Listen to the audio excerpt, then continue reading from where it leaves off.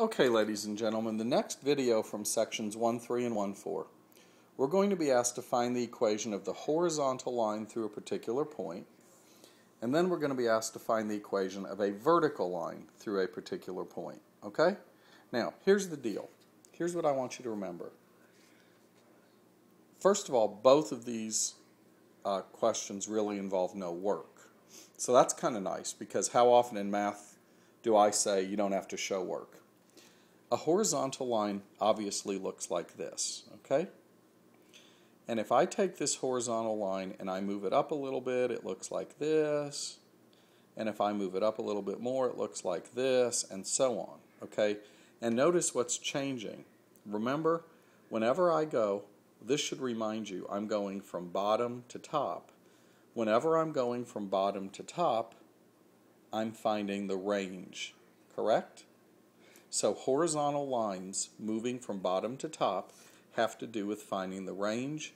And what value is range? Well, I hope you know range is y. So anytime somebody wants you to find a, a, an equation of a horizontal line, they're just having you look at the line y equals and in this particular case, we ignore the number 5 because that's an x value. y would be negative 2. So my answer to this problem, really without any work, the equation of a horizontal line through this point, the answer is y equals negative 2. And that will always be the case. Horizontal lines will always be y equals, and then you go to an ordered pair on the line and you pick the y value to put here, and you totally ignore the x value. Okay, next question, find the equation of a vertical line. Well, a vertical line looks like this. And if I moved it over a little bit, it would look like this, and so on. Well, if I'm going from left to right, which is what I did here, if I'm moving from left to right, you know that what I'm really doing there is I'm finding the domain. So this is just sort of a way of helping you remember a vertical line moving from left to right, we're finding the domain. What value is involved in domain? Well, that would be x.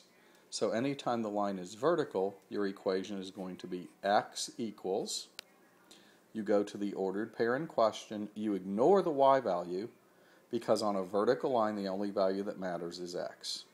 In this case, the answer would be x equals negative 3.